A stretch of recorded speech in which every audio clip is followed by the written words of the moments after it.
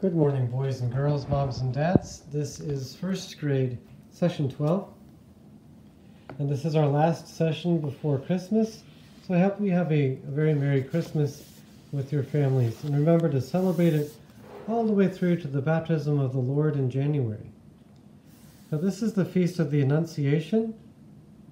Can look at this beautiful image of the angel Gabriel, the Holy Spirit, the other angels, and Mary, the Mother of God and she said yes to the Holy Spirit. You can color that. Four reasons for the incarnation. You can read about the reasons for the incarnation, then answer the questions. So read this. Here are the four reasons right here. And over here, you can put down a picture, draw a picture to help you to remember each of the reasons for the incarnation. So to save us from sin, draw Jesus on the cross to show us how to be holy is another reason why he came in the incarnation. So draw a picture of Jesus praying. To show us God's love, draw Jesus loving someone. Lots of different examples you could choose.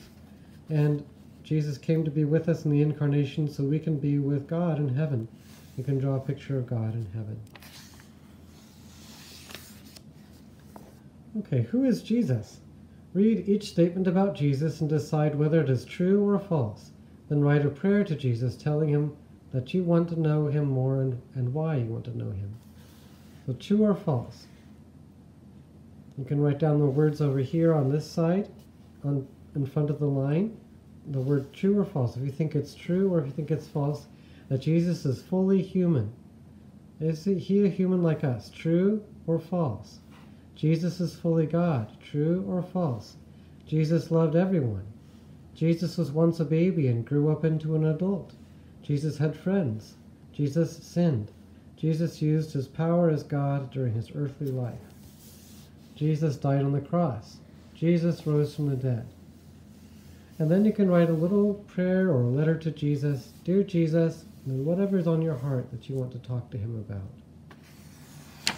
And that is it for this week. I hope you have a, again, a blessed Christmas. God bless you. We'll see you soon.